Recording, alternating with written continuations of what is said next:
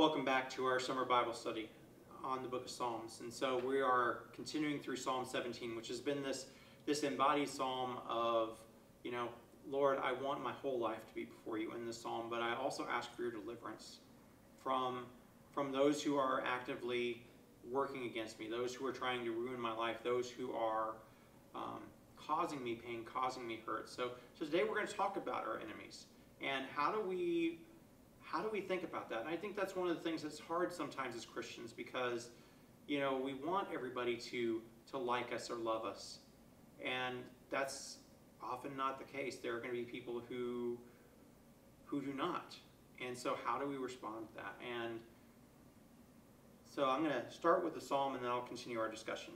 So this is verses 10 through 12.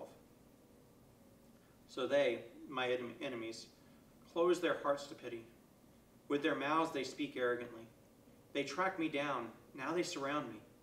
They set their eyes to cast me to the ground. They are like a lion eager to tear, like a young lion lurking in ambush. Now, in the psalm, the enemies take the form of an animal, of, of a lion that's, that's tracking them down.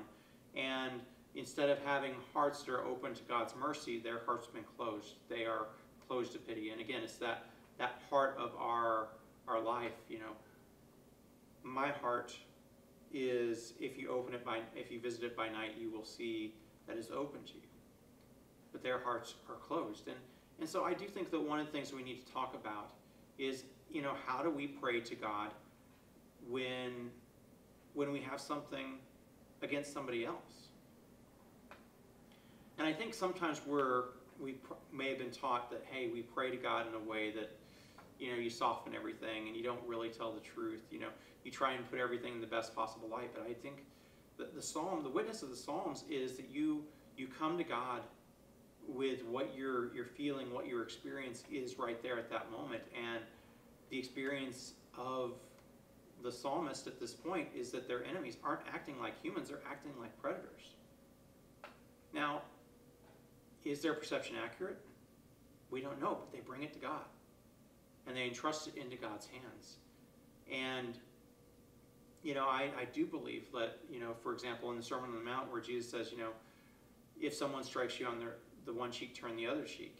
You know, that, that our response to the enemies is not to be met with violence for violence. Instead, it's to be met with the opportunity to turn the other cheek, to, to go the extra mile, to to speak the kind word, to, to forgive where we've not received forgiveness.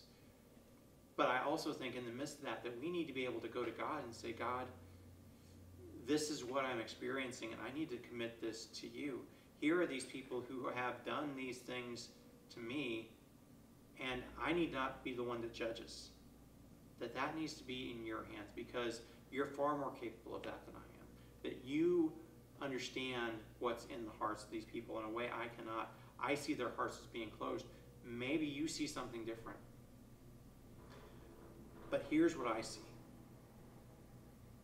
their mouths speak arrogantly. But maybe to you, their mouths say something different.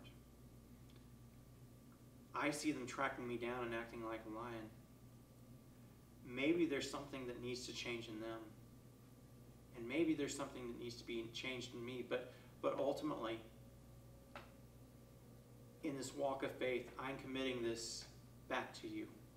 And i trust that you are the one who can and will deliver me from this. And so you know we pray we pray for our enemies. Now we may be praying for our enemies for them to be stopped in what they're doing we may be praying for our enemies in a way to where we are asking for God to, to judge them. But we pray for our enemies also that they may come to see the world in which, the way in which we see it. You know, that they may walk in faithfulness to God in the way that we're trying to walk in faithfulness to God. And so we lift, we lift up even our enemies God of steadfast love. We'll be back tomorrow to finish up this psalm.